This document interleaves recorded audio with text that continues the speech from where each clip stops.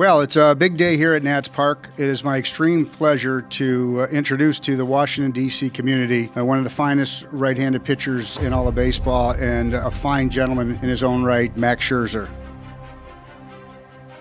Obviously, when uh, you know the Nationals start knocking on your door, uh, this is a team you want to be a part of, and you start having conversations with the Lerner family and understand their commitment to excellence and their commitment to winning.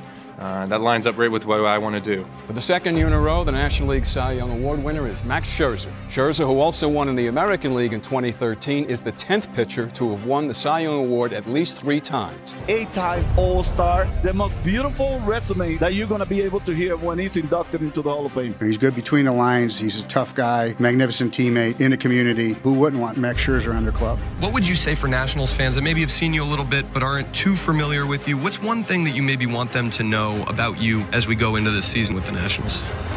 Swing and a miss. He struck him out with another slider. A brilliant performance. A one hitter for Max Scherzer. That's got to be the game of his life. 16 strikeouts, complete game. When I'm in those situations, I know I'm confident that I can get it done. Swing and a miss. Number 300 for Max Scherzer. I'm here to compete, here to win, and I'm going to attack the hitters. That's what I do. That's how I have fun on the mound.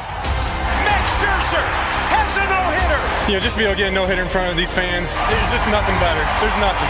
Max Scherzer has done it again. For the second time this year, there is the no-hitter. Swing and a miss. 20 strikeouts for Max Scherzer.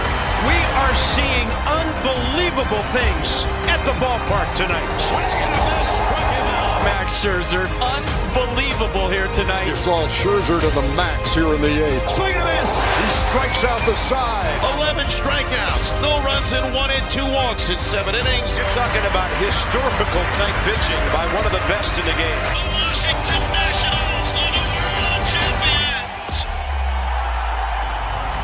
Let's go. Let's get on the mound. I'm coming after you. I know what's on the line. For me to go out there and have success, I got to find a way to get it done. saw a group of guys come together like you've never seen before. The camaraderie, the belief in one another, it doesn't matter. Everybody just believes in each other.